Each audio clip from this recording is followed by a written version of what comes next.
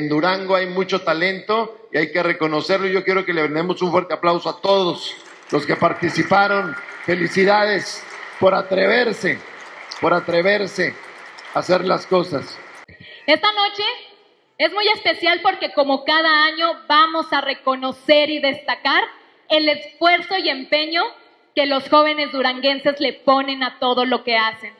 En las diferentes categorías que se premian y reconocen esta noche, participan los jóvenes más destacados. Ustedes son la muestra de que en Durango hay talento y mucho. Este premio es una muestra del compromiso que nuestro gobernador Esteban Villegas tiene con la juventud. Un gobernador que cree y le apuesta a los jóvenes.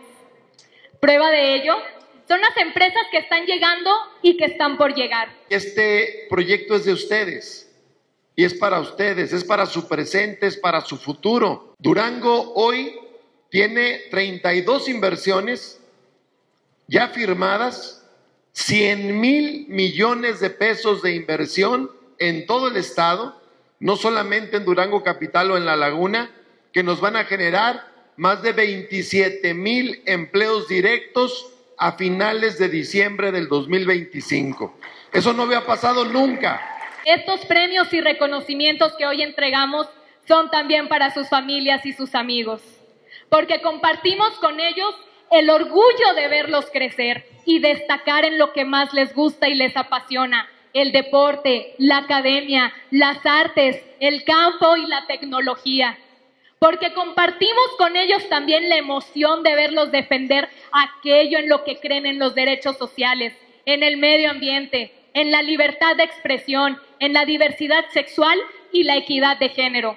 Por eso quiero hacer un enorme reconocimiento a todos y cada uno de ustedes. Quítense el miedo, busquen sus sueños y yo les aseguro que si son disciplinados, que si le ponen pasión y si tienen el objetivo muy claro, no importa lo que pase, el sueño siempre lo van a alcanzar.